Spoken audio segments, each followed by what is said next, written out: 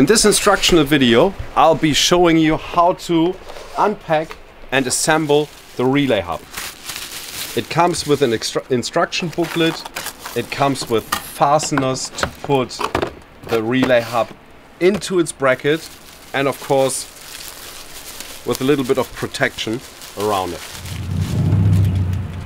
This is how the board comes out of the packaging.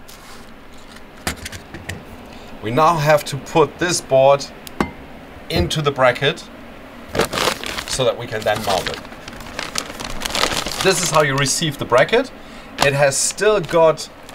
Okay, start with this is how you and action. How do you call the shit that's on there? The, it's still got foil on it? Protective uh, layer? Protective plastic yeah. Wrap. Protective plastic wrap. Go. Pro this is the bracket for the EGON Relay Hub and it comes with a protective layer on it. To take it out of the box, oh it's wrapping. This is on there just for protection. So when you receive it, the first thing you have to do is take the Allen keys out so that you can get the cover off the bracket. And now the fun part, peeling off the protective layer. This bracket is made out of stainless steel for strength and also to make sure that it does not corrode.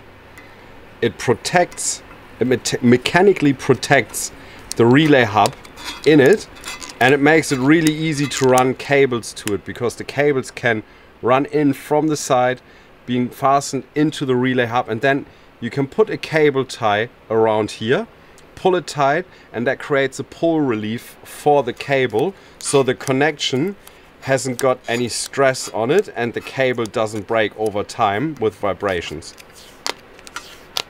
Once you've peeled the protective layer off, you find that there are different size holes in the relay hub bracket. The small holes are to mount the circuit board into the bracket. The bigger holes are to mount the bracket to a surface sort of like that and put screws through it. There's multiple holes in here. You don't have to use all of them. We've just put multiple ones in just in case only these ones work for you or only the outside ones.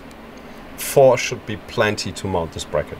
To mount the circuit board into its bracket, you'll have to put these little fastening nuts in there and they will sit on one of these holes and then a screw will go through from the back screw into it, holding this nut into place, and then later on you put the circuit board on the top and put another screw into this and that will hold the circuit board.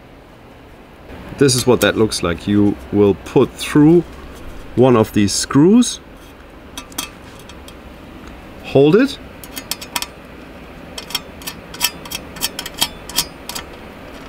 put the nut on there and then use a screwdriver to fasten it from the back.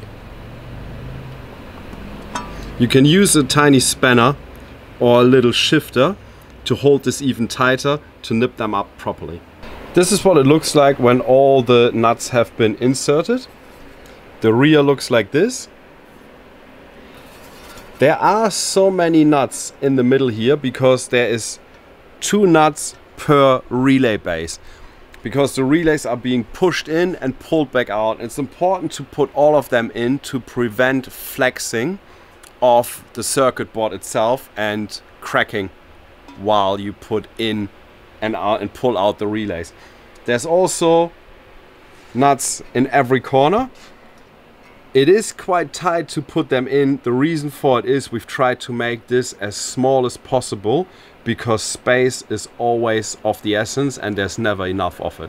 To slide the circuit board into the bracket, you have to make sure that this big connector goes where these holes are on the top here. You see how the left hand side and the right hand side of the bracket are different. You slide it in from the side and you can lay it on its back and all the holes should line up.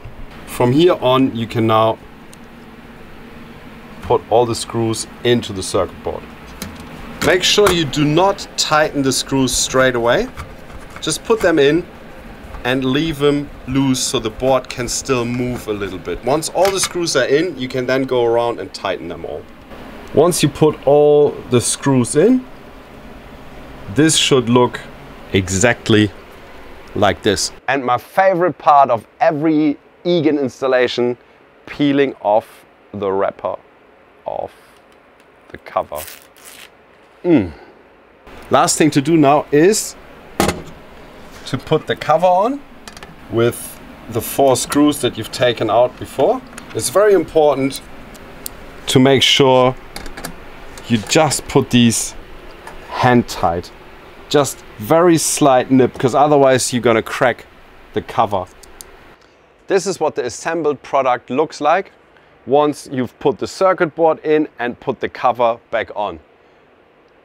There's one thing you have to keep in mind that before you put the circuit board in and before you put the cover on, you do want to mount the bracket to wherever you want to have it. Because right now, these holes are not accessible anymore. So make sure you mount this, then you put the circuit board in, then you put the cover on.